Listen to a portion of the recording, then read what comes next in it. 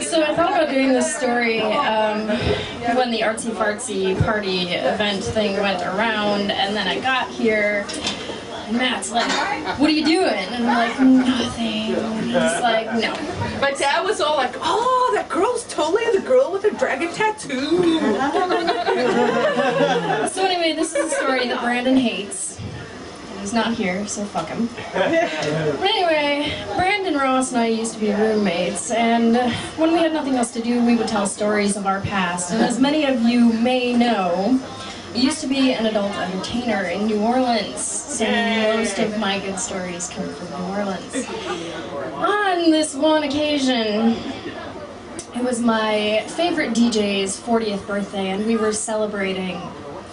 Now, celebration in New Orleans is excessive. So, if you've ever been to New Orleans, you know that many of the bars don't even close, which is something that I miss a lot. But it was probably about 3 a.m., and I'd had about six drinks already, and at this point, I think I'd made out with one DJ's daughter, the DJ himself, as it was his birthday. So we're off to a good start already, right? Anyway, our bar closes, and we decide, well, we want to take the party on the road, so we're gonna go down Bourbon Street and see who else is open. So we go down to this hustler-affiliated Deja Vu Club, where I later ended up working. Awkward. anyway, so we are soon hustled up into the uh, VIP lounge, where I proceed to make out with another dancer, and people start pouring me shots of Patron. Oh, this No. story is going to be awesome. Now, if any of you have had Patron, and I'm sure many of you have, you do not turn down free shots of Patron.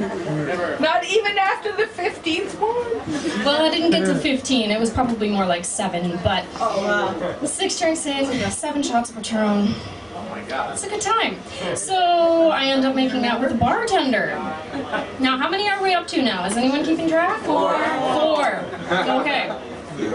So my DJ, wasted beyond belief, comes up to me at one point and says, "Oh my God, do you know who the band Vader is?" Now, no one in this room probably knows who Vader is, but they are a Polish death metal band. And I'm like, yeah, actually, I do. Only because one of my best friends from Wisconsin had recently gone to see them, and somehow they ended up in the club that I was at that night. so I'm like, yeah, totally. If, you know, only for bragging rights. So I go and I meet the group, and immediately the guitarist is like, oh my god, I think I love you. And I'm like, you're so full of shit.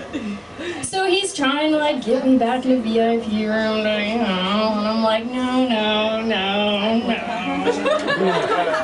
Uh, so I make out with him. night. A good night.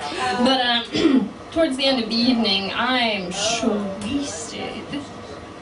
And he comes up to me, and because he hasn't gotten very far, he finally he, he takes my chin in his hand, and in the most beautiful Polish accent, which I'm about to butcher, he says, "I will find you. I will come for you." And I just kind of fucking laughed and threw up in my mouth a little. so I wouldn't have gotten home that evening if my manager, who was also out partying with us, hadn't shoved me in a cab. The next two days, I was still drunk. And I don't mean like I woke up in the morning and I was hungover. I mean I was. I threw up in the car, in a soup container, and also in the Pottery Barn parking lot. My roommate was an asshole. He decided it would be a good idea to go shopping with me in this state. But after all of that, after all of that, I get home finally. I'm like in no state to go to work. I get home and I start going through my work bag, to clean my terrible outfits, and make sure my shoes are clean and everything. And I realize I left my fucking boot at the bar.